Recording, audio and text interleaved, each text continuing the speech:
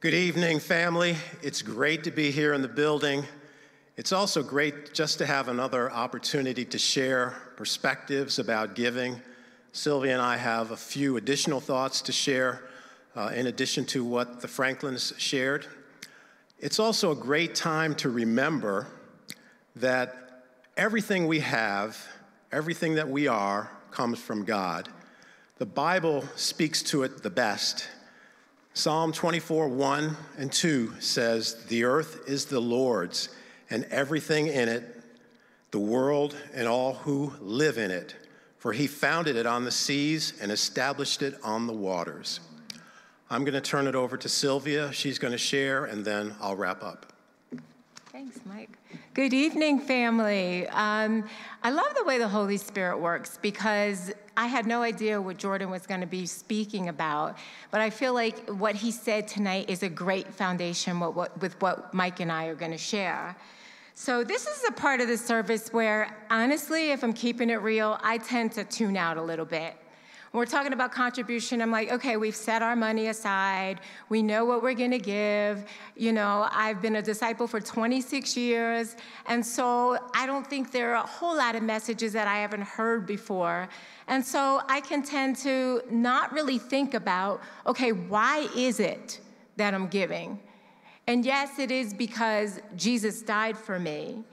I have to be careful not to just check a box you know, like I think that we can tend to do as part of a service, but instead to make sure that I'm examining why I'm giving. And it's not just my money. It really is about giving everything. Luke 14 33, Jesus says, Anyone who does not give up everything he has cannot be my disciple. And any of us who are baptized disciples of Jesus, remember when we counted the cost, we said that. We said, okay, I'm willing to go anywhere and do anything for Jesus. So that means that my life's not my own. That means not just my money, it means my intellect, it means my home, it means my car, it means my time, it means everything. God entrusts us with all of those things, but He wants us to use them for His glory.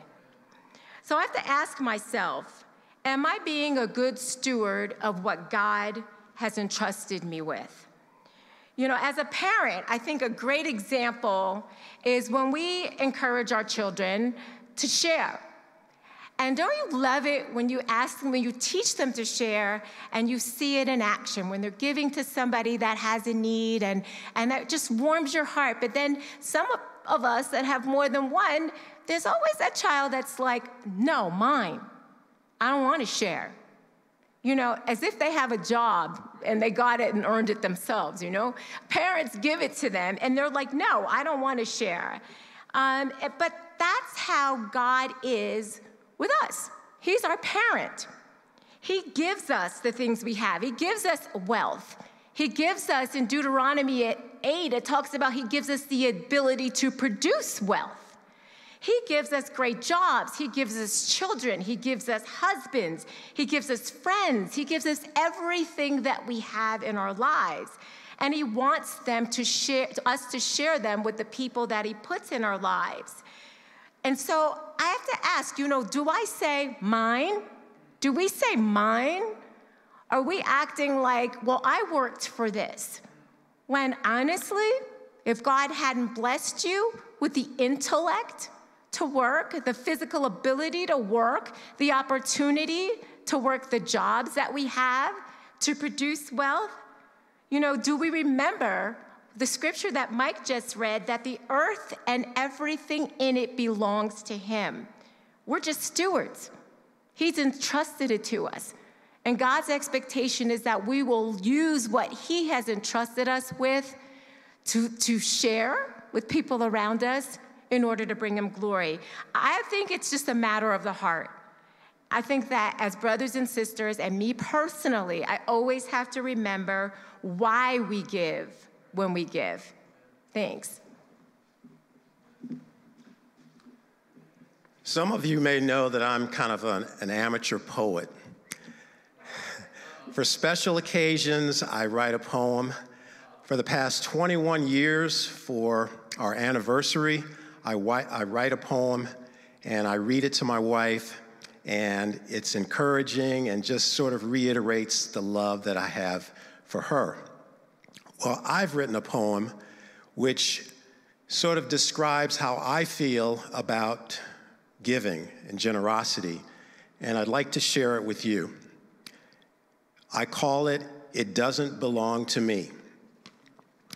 It's not just about money, but all that you hold dear, including your time and talent, even your cherished career.